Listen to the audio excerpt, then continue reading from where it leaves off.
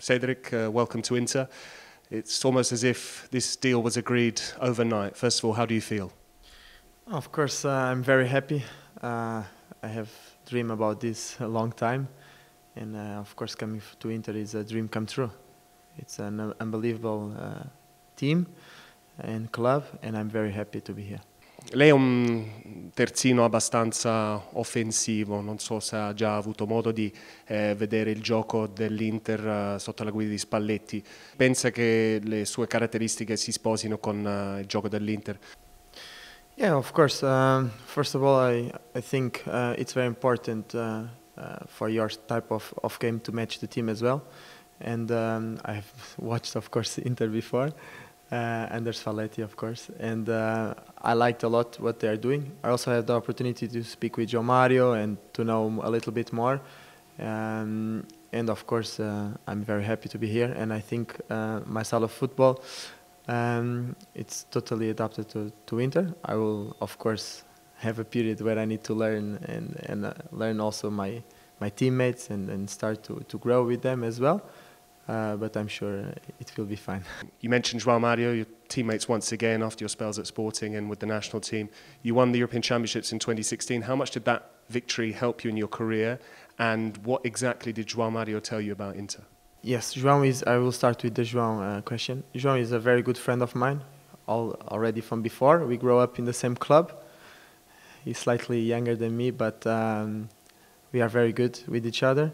And um, it's a pleasure for me to come back and play with him again. Um, of course, he, he told me a, a, lot of good stuff. He loves it here. Um, he's very happy now. He's playing all most of the games, um, and he also told me about the way of, of, how the team plays and how is the idea.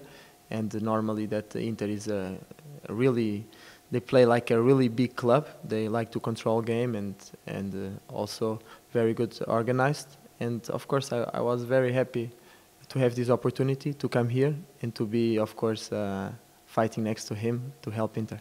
If I'm not mistaken, you missed both of the games against Southampton in the Europa League through injury. How excited are you about being able to play at San Siro?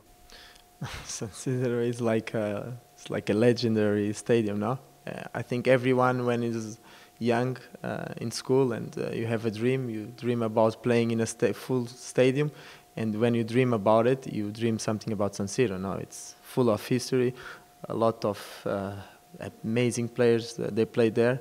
So for me, it's going to be a, a, pleasure, a pleasure to, to play there.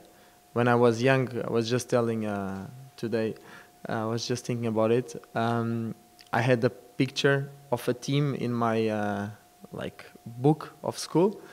You know, when you are kids, you always put something on the top. And uh, I actually had a picture of all the Inter players. You know, the team it was like, it was my favorite team. So, you know, there, maybe there was a reason, know, and I like to believe in these things. Uh, final question. This is a big year for you, uh, both in terms of the club, now with Inter, three competitions, and also the Nations League, which you'll be playing uh, in, if you're in the squad at home uh, in Portugal. What are your targets for this year? Uh, here in, in Inter, I just arrived. Um, I want to first of all be playing, be playing in front of, of all the Italian uh, and Inter fans.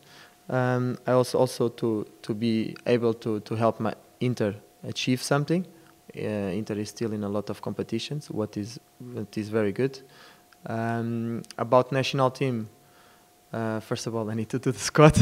I will fight for this, of course, like I, I always do. Um, and yes, I think uh, it's in Portugal. It's a big competition.